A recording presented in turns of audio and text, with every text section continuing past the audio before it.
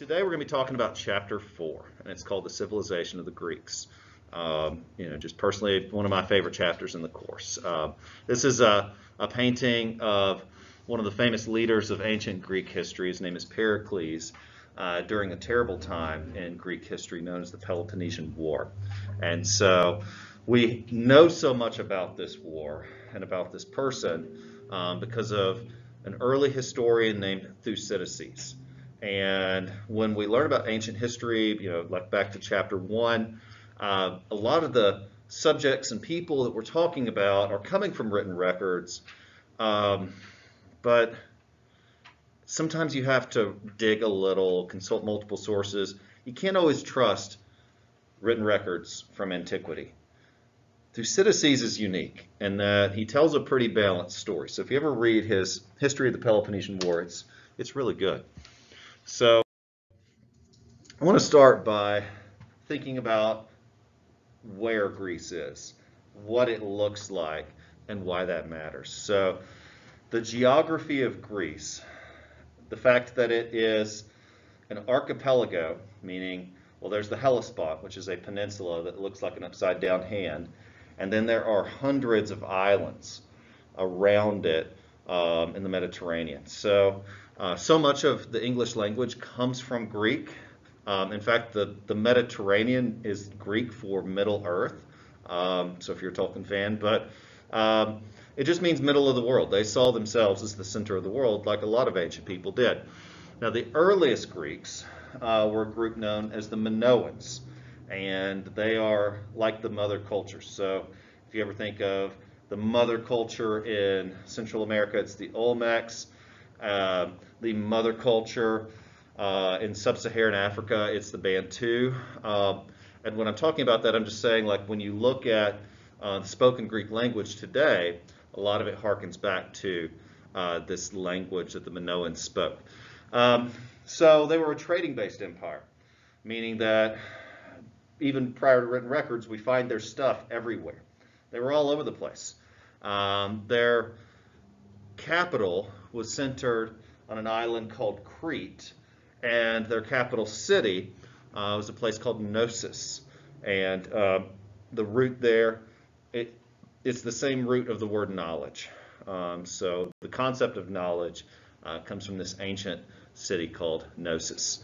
Now, the first Greek city-state, that is the first people who were calling themselves Greeks, who were speaking the Greek language, uh, were a group known as the Mycenaeans. And so they migrated in. They were part of this huge people group called the Indo-Europeans, and they migrated into uh, the Hellespont or the Peloponnesus, or really just the mainland of Greece, uh, the upside down hand. I keep thinking of it that way. Uh, their most famous leader was a man named Agamemnon. And if you've read the Iliad or Brad Pitt did a great version of the Iliad with the movie Troy, um, of course, the movie took some liberties, but honestly, so did Homer. Um, you know, if you ever read it and his account, it's very embellished. You know, for example, if you ever uh, watch the movie 300 about the Spartans, you know, don't worry too much about historical accuracy because the work that it's based on from Herodotus was also rather embellished. I mean, when you're reading ancient history, figuring out what actually happened is really tricky. you have to consult multiple sources, and sometimes they're all lying. So you sometimes have to dig into artifacts and archaeology to actually figure out what's going on.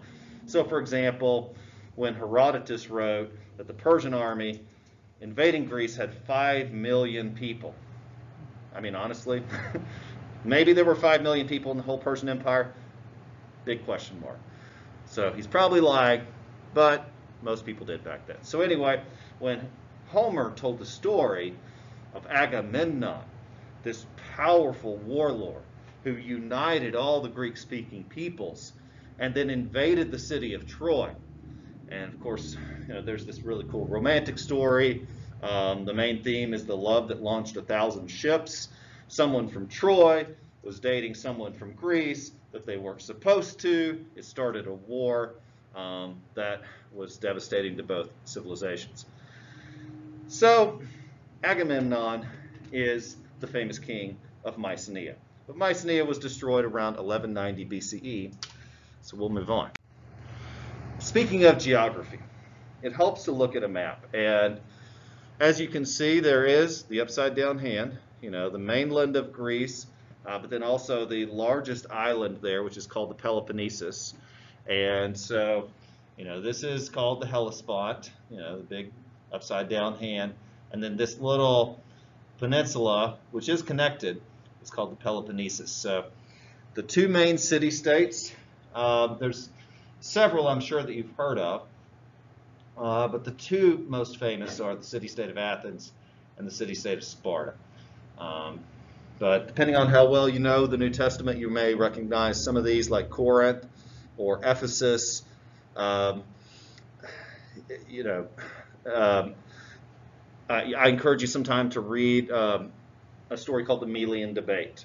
And uh, it's, it's the first essay I do with my freshmen. And it's just a fascinating dialogue about some of the moral and ethical issues, um, honestly going back to right and wrong. So it's a great subject dealing with an island that is so small it doesn't even get named on this map. So we're going to zoom in just a little bit and look at this tiny little peninsula called the Peloponnesus. And so south of that, you can see this island called Crete, and there's the main city of the Minoans called Knossos.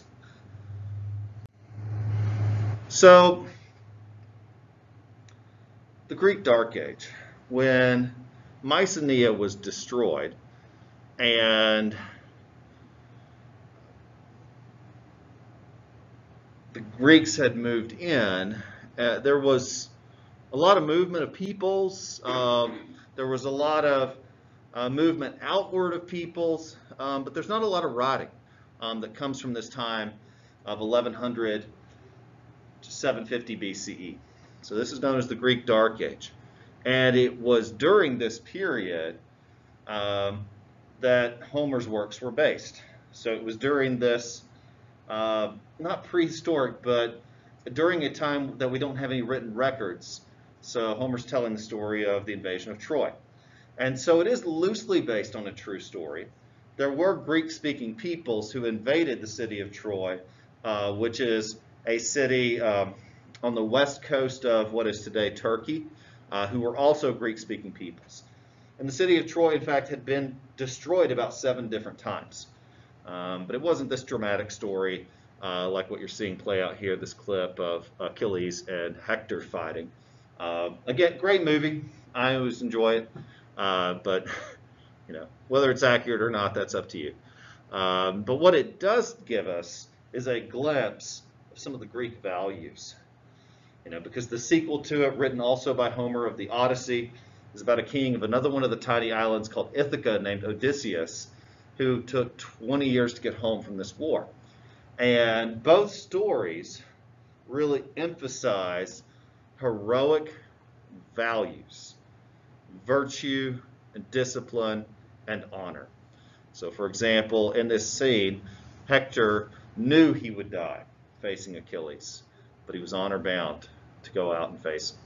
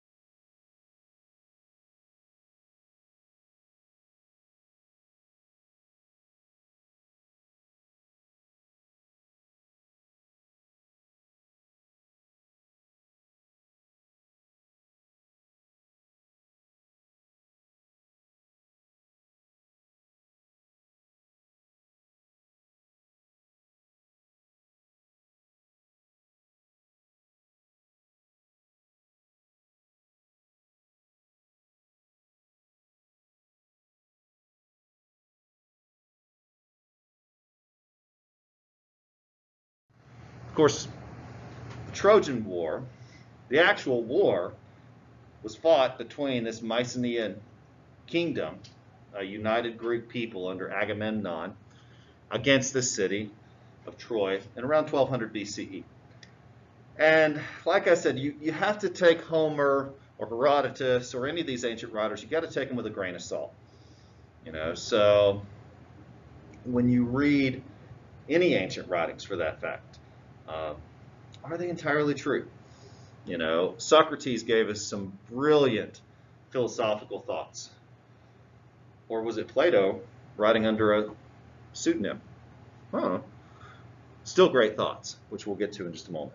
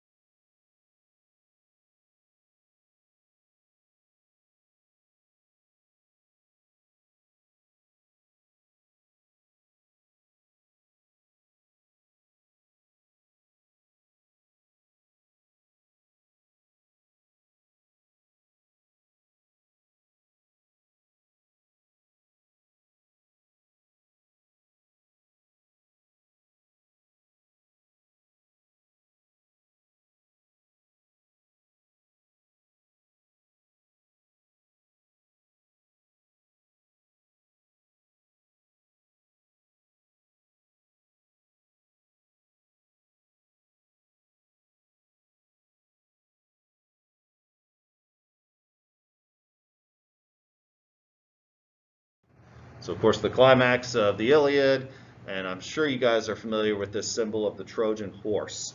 Um, the Greeks could not defeat the mighty city of Troy, even though their hero Hector was killed by Achilles. So they made a horse, they put all the bad guys inside, they presented it as a gift, and then it was eventually opened up. So I just wanted to show you just, just how many popular works of art, of movies, of media are associated with Greek culture. Um, because really the, the, Greeks have influenced our lives in so many different ways. So this is a painting of Hector, car or excuse me, Achilles carrying Hector's head um, around the city of Troy. According to the Iliad, he rode around in a chariot carrying his head seven times. Couldn't help myself. Again, just it's all over the place. Yeah, again. So moving on. Um, this is what one of the city-states of Greece looks like today. This is the island of Scolopagos. And you see these beautiful whitewashed buildings. And so if you visit Greece, which again is, is big on my bucket list, I particularly want to see the city of Athens. Um, these are the types of buildings you'll see. So next I want to look at um, how these city-states were organized. So the concept of a city-state, an autonomous political unit, is not unique. I mean, we saw that with the Mesopotamians. Uh, the Chinese used this. It really is just a gathering of people for mutual benefit and safety. Uh, but typically these city-states were limited in size and population by their resources. So we can't have cities of millions. We can't have nations um, because there just weren't enough resources to go around. And so because of that, people were constantly attacking one another to steal goods, food, domesticated animals, whatever they could steal. And so because of that, people grouped together for protection and, and built walls around their dwellings and then farmed in the fields surrounding the walls. And then the bad guys come, they attack the city-state, burn all the farms, but the people are safe in the walls. So the Greeks called this a polis. And a polis is just the Greek word for city-state. Um, we still use this word in some cases. Some some large cities, like you know, the city from Superman is called Metropolis. Um, that just means large dwelling place, large city. Um, now, the Greeks, in terms of their military, had a number of unique tactics um, that are still used by modern militaries. For example, uh, the concept of the phalanx, um, that the Greeks would fight as a team, and that they would train as a team, and that they would move as a team, and they would conduct maneuvers under fire as a team. Um, all this is central to not only the Greek military, um, but their entire military strategy. Uh, so if you ever look at, I don't know if you played the game, any of the Total War games, but if you ever uh, use Greek infantry in any type of simulation, they move in squares uh, with shields all around them, with spears poking out.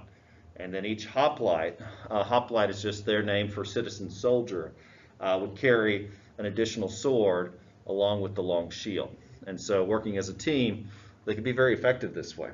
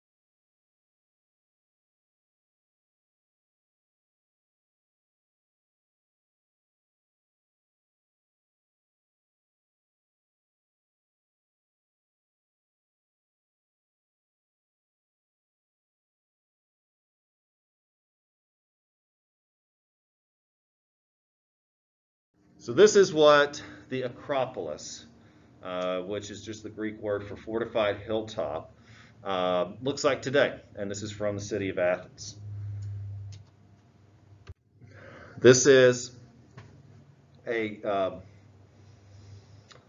a temple to Erechtheion. Uh, I'm going to try to, I, I, just butchered that, but Erechtheion, I think. Uh, so uh, Greek architecture, I just wanted to point out with this photograph, um, is, is rather important and uh, rather influential. Okay, so between 750 and 550 BCE, uh, there were large numbers of Greeks leaving their homeland, settling in distant lands. Um, this was partly because of a massive gulf between the rich and the poor. Um, very little of Greek, Greece's land is actually suitable for farming. You know, much of it looks like the photograph of the whitewashed buildings I showed you. Mountains and the sea are the two biggest defining geographic characteristics of Greece, the mountains and the sea. So it's not really conducive to large farms, meaning that the Greek mainland can't actually support large numbers of people. So family had a lot of children, many of them would wind up moving away.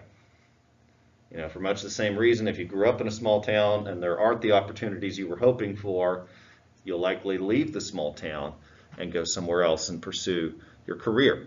It's very similar in Greece. You know, if there aren't opportunities there, then they're going to move and they're going to settle and they're going to colonize all over the place. So each colony viewed themselves as an independent nation. So, for example, Athens alone was responsible for colonizing so many different places, including the island of Milos, including the island of Ithaca, and they colonized all of these places And while each of these places considered themselves independent states, they still considered Athens their mother polis. So colonization creates a greater sense of Greek identity in that while many of these islands often fought amongst each other, many of the Greeks often fought amongst each other, they spoke a similar language, they had a common history, and they have a similar culture. And so while the Greeks didn't always get along, their culture spread all over the Mediterranean world. So this also leads to more trade and industry. Um, it, you know, as far back as the time of the Minoans, you can find Greek artifacts all over the Mediterranean world. Um, you know, Greek pottery.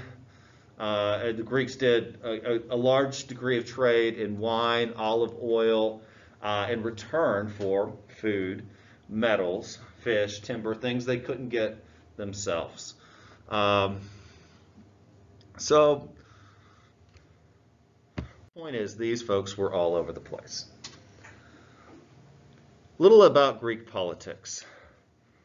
So, when the Greeks use the word tyrant, they're not always thinking about it the way we do. You know, we think of tyrant, we think of dark lord, dictator, bad guy in every movie. Uh, it's someone who seizes power. And the Greeks considered that as well. Um, but they thought that there were circumstances necessary where someone would need to seize power, particularly in times of crisis. Well, of course, you know, we're a constitutional republic. We have written into the Constitution these emergency powers that the president can assume in a time of crisis. And so we really developed that policy from the Greek model, where instead of them having it written into a constitution, someone would just rise up and say, Come with me if you want to live. And everybody'd go, Okay. Because um, meanwhile, uh, many of these Greek city states were ruled by groups. And these groups couldn't always agree. And, you know, even in Athens, which practiced um, one of the only examples of pure democracy, uh, where every citizen could vote on every issue. But the problem with that, just like the problem Congress is having, is they can't seem to agree on things. And so if a crisis would occur, like for example, the Persians invaded or a civil war were to break out, then someone like Pericles could rise up and say, I'm going to fix this. So it did not necessarily mean that they're bad guys in the Greek sense, that we don't use the word tyrant kindly uh, in today's world. But now, um, not only did it give rise to tyrants, this massive movement and migration created new opportunities not only for the wealthy, um, but for a new rich who had made their money in trade and industry, and even opportunities for the poor who were able to rise up. So there was a great deal of social mobility in the Greek world. Now, the practice of viewing tyrants as saviors of, of humanity uh, began to dwindle um, around the 6th century BCE. I mean, really, you know, ideally someone heroically stands up to help people and to save people and then heroically steps down when the crisis is over. We know that's not how it works in reality, and, uh, and I think they figured that out the hard way. Um, but while this practice of large groups of people making decisions uh, with the occasional tyrant to fix things in a crisis um, eventually evolved into more sophisticated government structures. And one of these, again in Athens, uh, was the opportunity for citizens to participate um, in public discussions and debates through the forum. But we've been talking mostly about ancient Athens. So let's look at a society that lived a very different way, and that's Sparta. And so you're probably somewhat familiar with Sparta. It's a city-state in the southern part of Greece, and um, they ruled a region called Laconia. And so if you look at, go back to the map, upside down hand, the southernmost large body of land is called Laconia, and that's where Sparta um, dwelled and ruled. This is a fascinating group of people that I would never want to meet, but I like reading about. They were a warrior society. That was their life. Spartan boys would enter the military at the age of six, and they would go and live in the barracks their whole lives until the age of 32. And so from 6 to 32, they were either training or they were fighting in battles. And at the age of 32, if they were still alive, they could retire and become farmers. And it was a very rigid society. I mean, it's, it's the best example of ancient totalitarianism. You know, every Spartan boy did this. Every Spartan girl was encouraged to have as many babies as possible to fuel the war machine.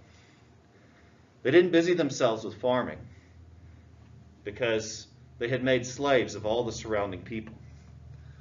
They called these people helots, just their word for slave. And so the helots did all the work, the slave, the Spartans did all the fighting. Until, like many cases in history, the helots outnumbered the Spartans so greatly they eventually rose up. The Spartans barely suppressed the rebellion, and they had to make severe changes to their society uh, based on this. Now, the Athenians, we often think of philosophy and democracy, and then Spartans. In fact, even the word Spartan means stoic. It means simplicity. It means practical. You know, these guys were taught to discourage outside thinking, taught to discourage emotion. You know, um, one popular Spartan phrase was come home carrying your shield or being carried on it. So the clip you're watching was from the movie 300. Again, not at all historically accurate, but lots of these folks embellish. But what you're seeing is um, uh, kind of a journey from boyhood to manhood for a Spartan.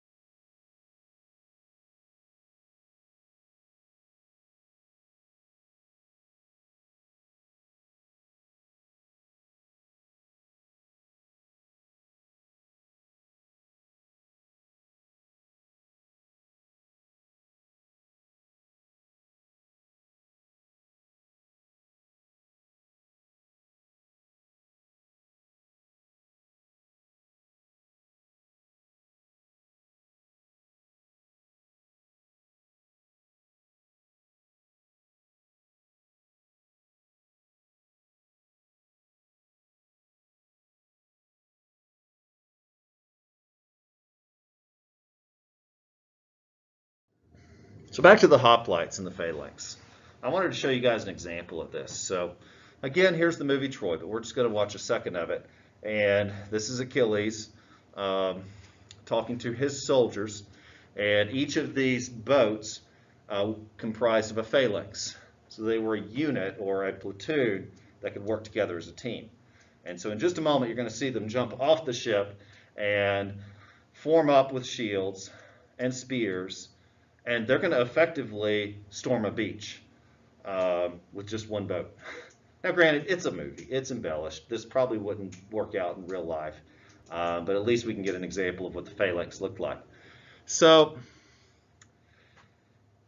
these men, and the important concept here is they're hoplites, which is the Greek word for citizen soldier. You know, so many people in the ancient world had bronze weapons. Well, bronze was incredibly hard to find, making it very expensive. But in the Greek tradition, using iron weapons, anyone could become a soldier. And so these were people amongst common citizens who had been trained in the art of war, but could be called upon when necessary. So kind of like a, uh, an army reserves, if you will. Yeah, so there's the phalanx being employed.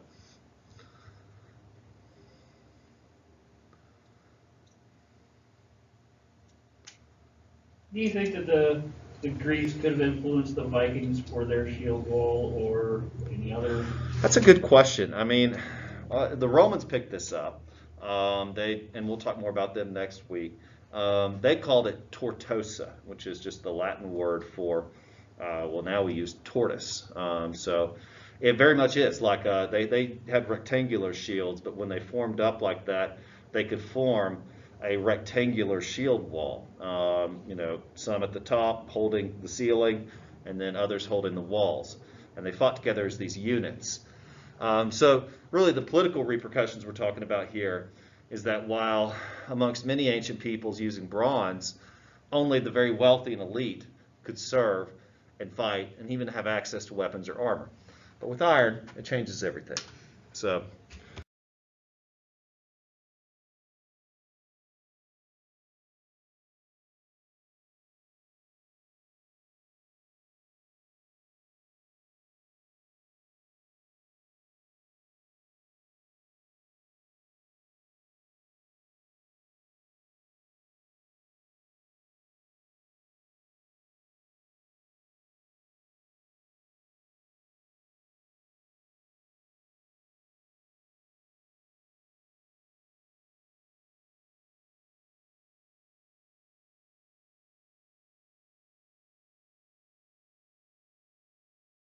Moving on.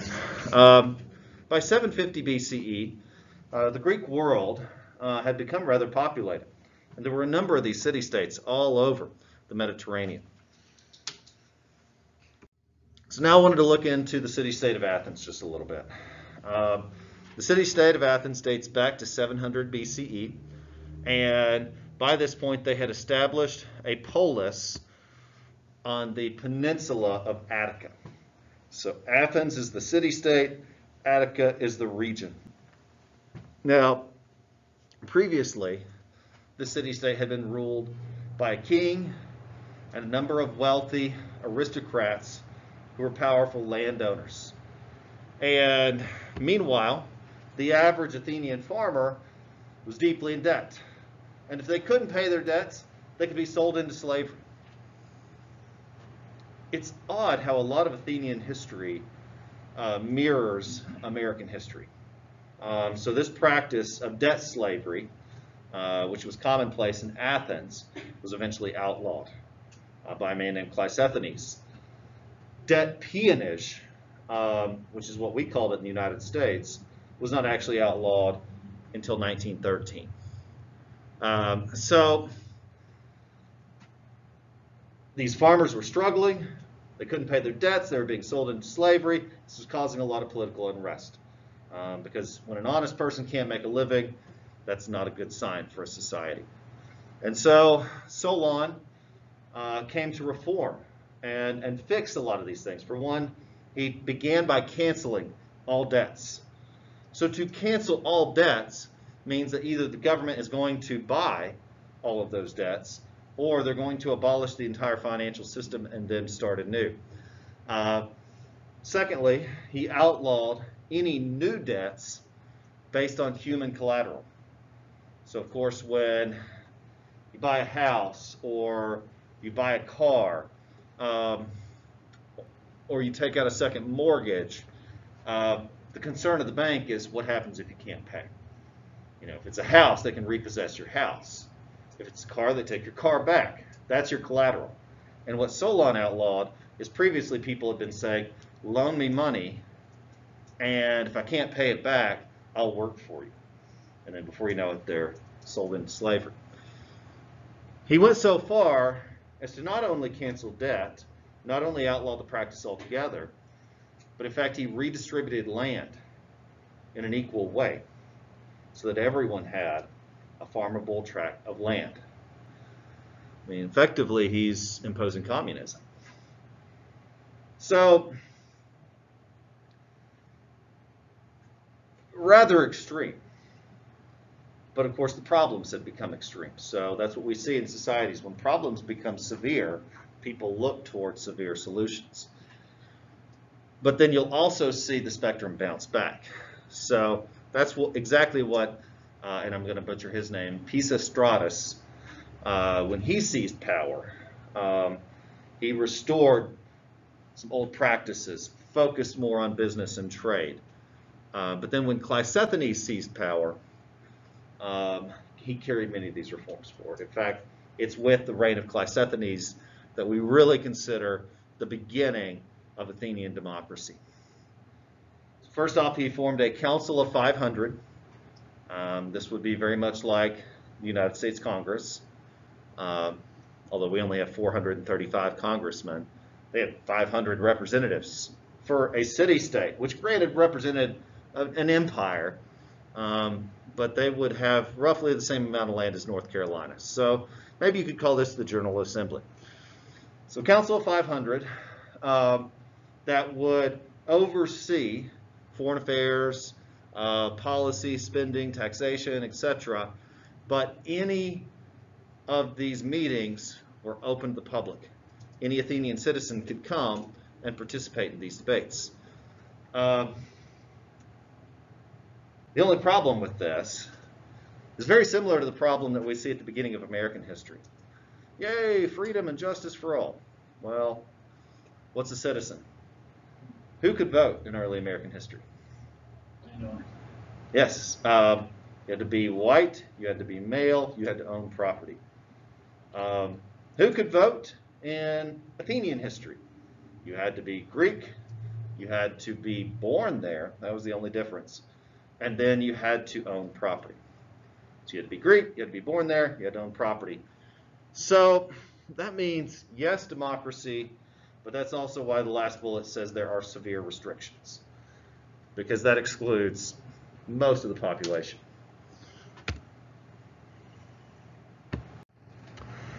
So, when we talk about Greece, there is a modern nation of Greece. They are the nation state of Greece, comprised of many of these same islands we're talking about. Um, but when we're talking ancient Greece, they mostly fought amongst themselves. The only unifying factor was their language and their culture. There are a couple of cases where they worked together. And the, the two most famous are the two Persian invasions. So, by the time of the first Persian invasion, Greece had already become a tributary of the Persian Empire, meaning they were paying taxes, they submitted to them, they obeyed Persian law. Uh, but the Greeks never seemed to like being told what to do, and so on two major occasions they rebel. And a powerful empire like Persia cannot allow a tiny little place like Greece to rebel and get, a, get away with it. And so they invaded on two occasions. Both occasions, the Greeks won. So the first of these was decided in a battle called Marathon. And yes, that's where the race comes from because a runner named Pheidippides carried the message of victory from the battle all the way to Athens, just so happened to be 26.2 miles. And then he shouted out when he got to Athens, according to the legend, again, probably made up, it's probably a lie, but according to the legend, he got to Athens and he yelled Nike, which is Greek for victory. Yes, those guys named themselves after the Greek word for victory. So anyway, the Greeks fought off the Persian invasion. But it wouldn't be long until there would be a second Persian invasion with a much larger army, much more organized, a much more brutal king called Xerxes. And this is the one Herodotus writes about as the army of 5 million. It was a terrible threat to the Greeks. Whether they were 5 million or not, probably not, but probably a large army. You know, well over 100,000. So, in a series of several battles, the first of which has always been my favorite, uh, the Battle of Thermopylae. So, since the Greek coast is so mountainous, uh, like think of the picture of the whitewashed walls, there aren't too many ideal harbors. You know, there's a major port in Athens, but you can't just land in the middle of a city because um, you'll be slaughtered. Uh, so there weren't too many excellent beachheads. But there was one near a beach called Thermopylae. The only problem with Thermopylae is when you land there, to get to the mainland, you have to pass through a narrow canyon. It was called the Hot Gates. And it was in this narrow canyon um, that a Spartan army of just 300 warriors stood. Now, you'll hear of, there's a movie called 300, you'll hear of The Last Stand of the 300. It's a very famous story. The reality is not quite as glamorous. There were actually about 5,000 warriors. So there were 300 Spartans. There were also Laconians, there were Thespians, there were people of various city-states working with the Spartans. But when it became obvious they were going to lose, the Spartans sent the rest of them away. So they volunteered to hold the rear guard. And the 300 stood and fought to the death. And, and it's a very famous story in Greek history. And there was a very famous king who fought to the death with the Spartans named Leonidas. Uh, his name means lion in Greek. Um, so, whether or not the battle had strategic significance or not, it has a very symbolic one. And, and it probably did buy the Greeks enough time to organize because even though the Persians did force the gate, and even though the army did get through, the Greeks had rallied enough of an army to, in a couple of battles, culminating with the Battle of Plataea, finally defeat the Persian invaders. So let's explore this idea of democracy in a little more depth. And let's also look at what's considered the high point of ancient Greek history. So Athens and Sparta led the two victories against the Persian invasions. And so it stands to reason that Athens and Sparta would lead the peace. And the two Persian invasions represent a rare time where the Greeks came together to fight a common foe. And after the second invasion, the Greeks realized that if they went right back to fighting amongst themselves, they wouldn't stand a chance if there were a third time. And so they formed a confederacy, an alliance called the Delian League. And it was simply a defensive alliance. So it's nothing like a Greek nation. But we will see that later. This was simply an agreement that if the bad guys came again, we would work together. However, Athens was the wealthiest and most powerful and most populated of all the city-states in the Delian League. And so they grew to dominate this league. And they began to rule over it almost as an empire, not in name, but in practice. But it's during this time, known as the high point of Greek history, or, or the classical era of Greek history, that this famous leader, Pericles, um, came to power. And he expanded democracy allowing Athenian citizens to vote. Um, he created the School of Greece, um, where you know many famous uh, Greek teachers and philosophers uh, dwell. And so this is the time of Socrates, and Plato, and Aristotle, and Aristophanes, and um, Epicurus, and, and so many of these Greek philosophers that you'll hear and read about um, came from this golden era of Greek history. But like so many golden eras, it was doomed to end eventually, and it did.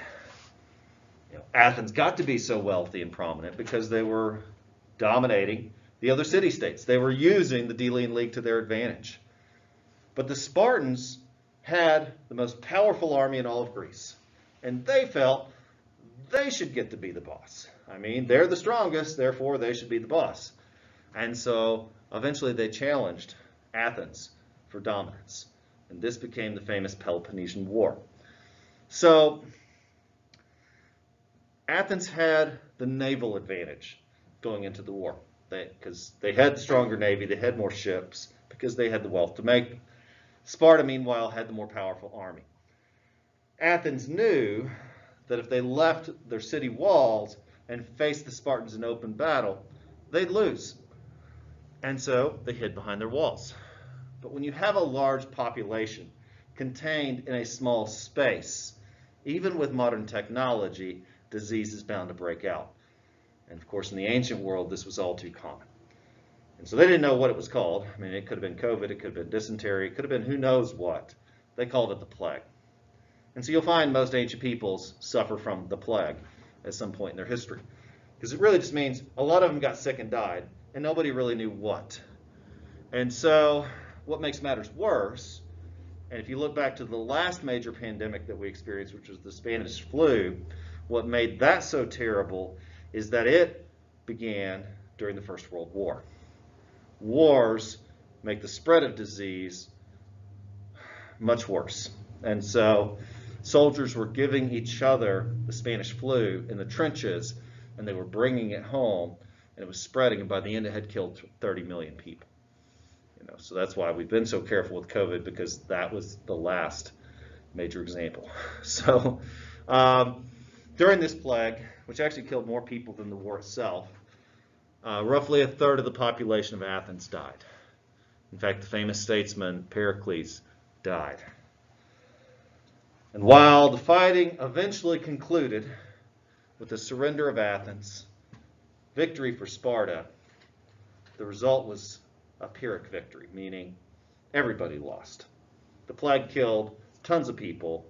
The wars killed tons of people, cost them immense amounts of money, and so, in fact, the war continued for 70 more years. So while Sparta technically had the victory, it's going to be the collapse of both civilizations for a time. So let's look at what came out of this classical era of Greek history. So the two most famous writers, Herodotus and Thucydides, we've already talked about. Uh, there were a number of playwrights. Uh, the Greeks invented um, the play.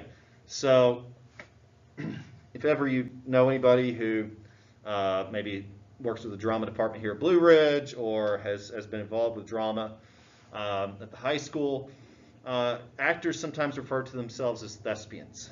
And it's just the Greek word for actor. Well, really, it's a Greek city-state. And it was the Greek city-state of Thespius that the tradition of the play began. And I'm just going to tell you one of the more famous stories. Um, there are so many, um, but you're probably familiar with the story of Oedipus Rex. And if not, well, it's a bit of a twisted story. Uh, but what's fun about Greek stories is you'll find them retconned in so many um, modern stories. So anyway, I'll give you the short version. So Oedipus was born of a wealthy mother and father who were powerful kings of a city-state. But a dark prophecy followed his birth. That one day he would kill his father and he would marry his mother. And his parents were disturbed. They were like, oh my gosh, you know, we got to get rid of this baby. And, you know, Snow White copied some of the stories. So they said, hey, you, hunter guy, go take this baby out and kill it. You know, which is also how Snow White starts. But just like Snow White, the hunter couldn't bring himself to kill a baby. So what did he do? He fled. And he raised the baby as his own. Never told the baby of his true identity. Took him as far away from the city as he could. And eventually Oedipus grew to be a man. Well, he was a heroic man. He was a fighter. He was an adventurer. And he had done many great things and already become rather famous. But he heard of something horrible going on in a city nearby. Sure enough, there was a monster attacking the city. I mean, this is Greek mythology. So, monster attacking the city. They needed a hero to come save them. So, Oedipus was the man for the job. So, sure enough, he goes to this city to slay the monster. Well, on the way, he gets into a wreck. I don't know if he crashes horses or chariots or wagons or whatever, but he gets into a wreck. Both people survive, but they're very mad at each other, like sometimes people are in car wrecks. The two wound up fighting. Weapons were drawn. Oedipus killed the man and then went on to the city. Fought the monster, slayed the monster, became super famous, even, you know, bigger of a hero than he was previously. He became so famous that they made him the king. And his reward would be to marry the queen. She married the queen, the two fell in love, they had all the babies. And then later, the man who had raised him came back and told him his real story. And sure enough, the person in the wreck was his father, and the beautiful queen was his mother. And so, like all good Greek tragedies, he didn't take the news very well. She didn't take the news very well. Um, he dug his eyes out with knives, and she threw herself into an oven. So, anyway, that's Oedipus. Um, you know, there's way more to it, but that's the short version. Um, so, in the arts, uh, Greek architecture and sculpture have been very influential, and so you'll st still see examples of these in the modern era. But I wanted to spend some time with Greek philosophy. And we'll start with Socrates. So, Socrates was famous for asking questions. In fact, the Socratic method is a form of teaching where you just ask someone questions. It's another, it's a form of argument too. You know, you can why someone right to death. What that means is that you're getting to the root of their argument by simply asking them questions. It's a really fun way to argue. You know, because most people aren't listening when they're arguing, but if they're ask, if you're asking them questions, you're forcing them to think through their own ideas. And if you're very clever with it, you can actually change someone's mind through doing nothing but asking questions. Socrates was the master at this. And his goal in education, he believed, was to improve the individual. So this is where the philosophy of humanities courses come in. You know, um, if I were teaching welding, you know, the outcome would be hopefully you could weld. If I were teaching a foreign language, then hopefully by the end you would have some familiarity with the foreign, foreign language. But I'm teaching history. Well, what's the outcome? you know, you're not just going to become history. You're not just going to do history. What is it? What's the goal of history? The goal is wisdom, that we learn from all of these people in all of these places. We get a better understanding of the world and of ourselves. And, and that's what Socrates believed education was all about. But in addition to wisdom, he believed that part of wisdom is critical thinking, is questioning of authority. In fact, he was later condemned to death by the city of Athens for asking too many questions.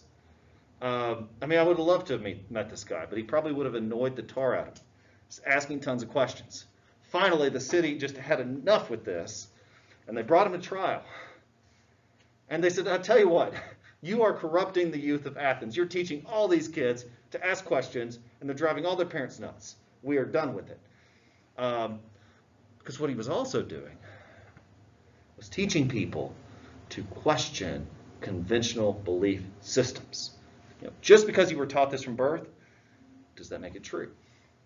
And so when more and more people began asking this, the Athenians grew angry, and they gave them the choice.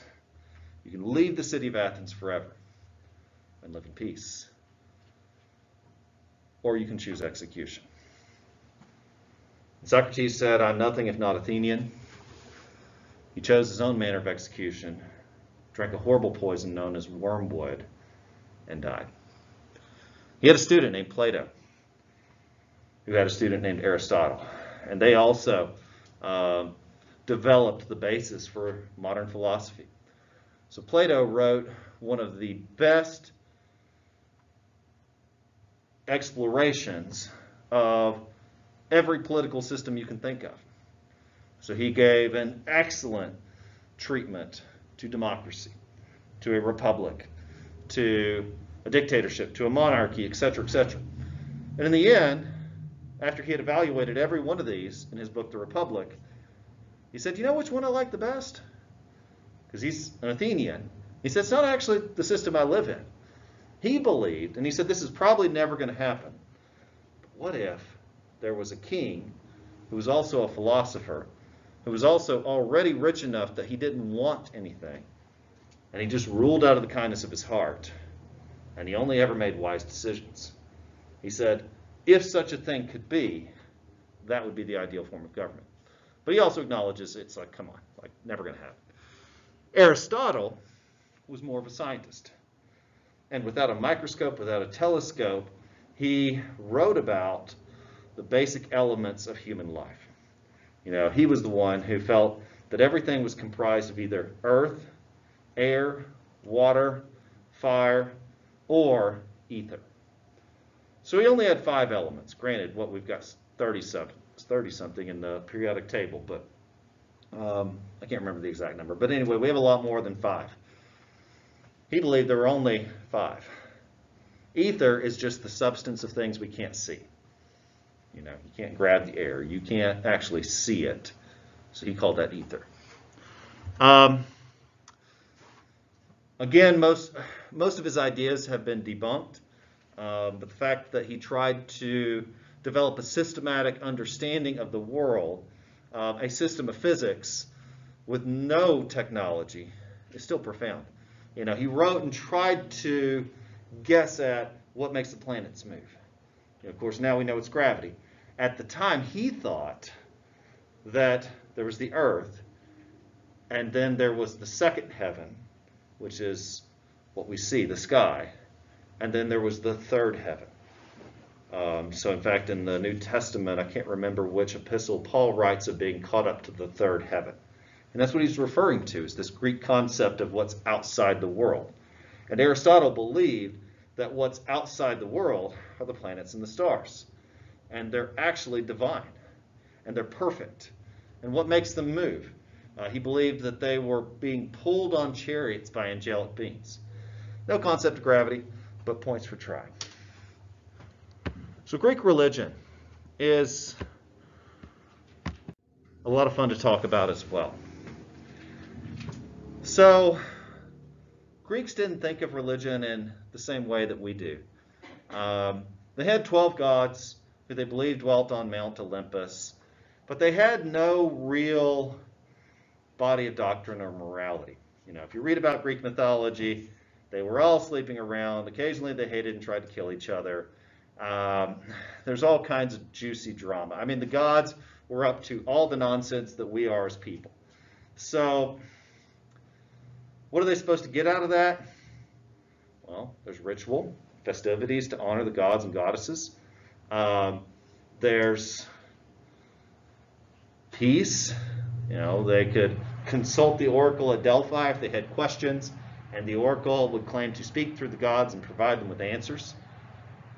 And there was stability. It was a civic religion that the Greeks believed was simply necessary for the well being of the state. That religion has a unifying factor, a means of forming community.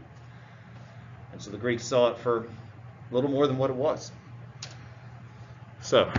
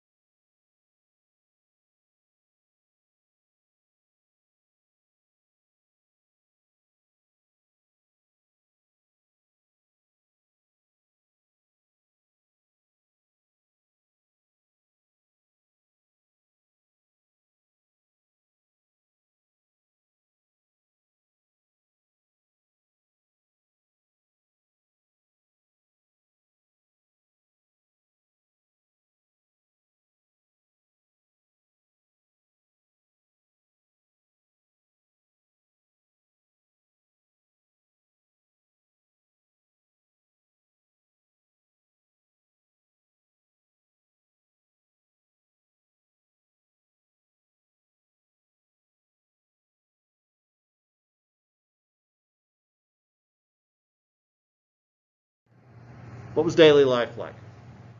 So Plato wrote that the ideal size for a city-state should be no more than 40,000 citizens. And he probably wrote that because at the time of his writing, Athens had close to 40,000 citizens. But remember that citizen doesn't mean human. Citizen means Greek, native born, male property owner. In fact, there were about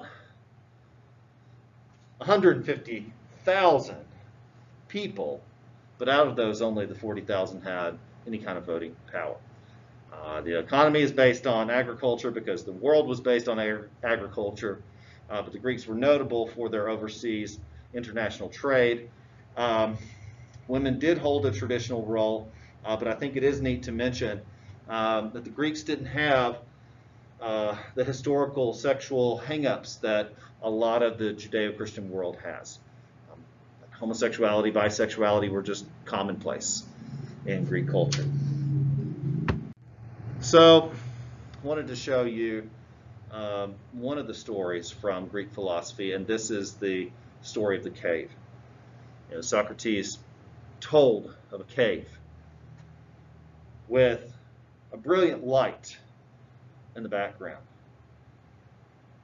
and that everyone else was facing away from the brilliant light, looking into the darkness. But that true knowledge requires a rejection of the darkness that we are currently seeing and a turning to the light. And that metaphor can mean so many different things. You know, he believed the light was knowledge. And he believed the darkness was the drudgery of our normal lives. So here's the Parthenon. Um, this is the famous Temple of Athena. Um, this is what's left of it. There's actually a scale replica, scale meaning built to size, in Nashville, Tennessee. So it's really cool. Uh, example of Greek sculpture. You know, this is an example of a relief, um, meaning, well, not a relief, but a mosaic. Uh, each of these are little stones with individual paintings that make a larger picture. And this mosaic is from the Roman city of Pompeii. So here's a map of the Peloponnesian War. Um, you can just see the various city-states vying for power. Um, the red here is Sparta, and the yellow or orange uh, would be Athens, and then the green would be neutral territories. We don't have much time left, but I want to give you the short version of Alexander the Conqueror, Alexander the Great. Uh, his father, Philip II of Macedon, managed to conquer all the Greeks and unite the Greek-speaking world until he was assassinated. And then his son, Alexander, assumed power at a very young age and continued his father's work, put down other rebellions, and within a few years had once again united the Greek-speaking world. And then he set about to conquer Persia and did it. And then conquered Egypt.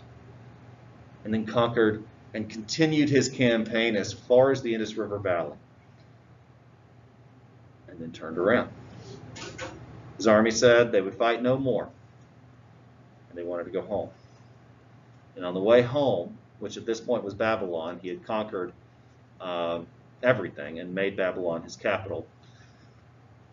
Uh, he grew sick on the journey home, and he died in his capital city. But his empire fell apart within a few decades. One of the greatest conquerors in the world, but his realm didn't last. And while his realm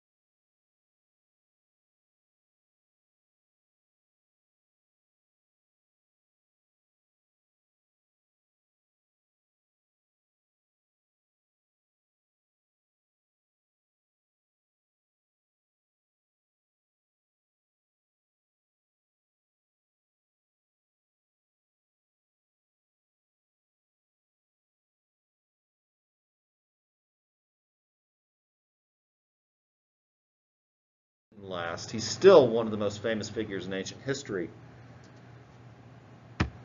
Not because of his political influence or his military prowess, but because of the cultural influence of bringing the Greeks and Greek culture to the ancient world. And not just making everyone Greek, but blending Greek with other cultures. And this is called Hellenism um, from the main Greek land called the Hellespont. Hellenism is the blending of Greek with so many other places and cultures.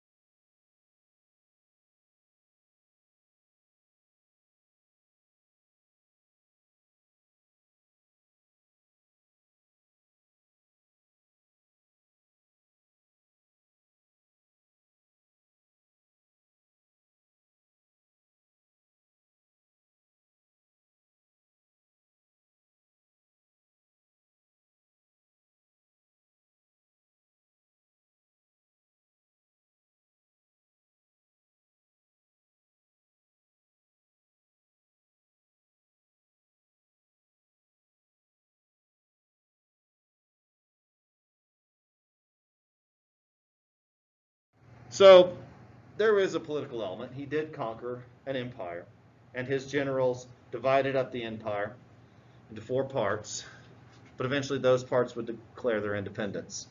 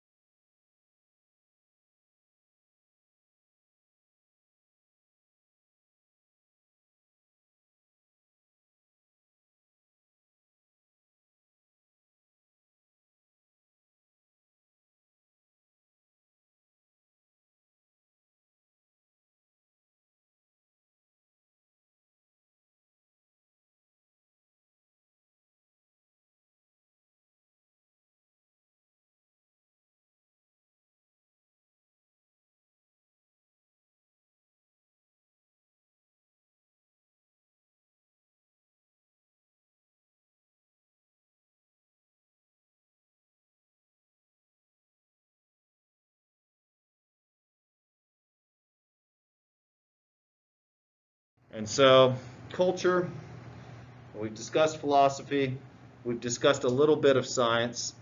Um, so we'll move on. Wanted to close just by looking at the impact of these people on the world. You know, much of our language comes from Greek, half of our language comes from Latin, and, and Greco-Roman culture are going to be blended and are going to spread even more prominently. And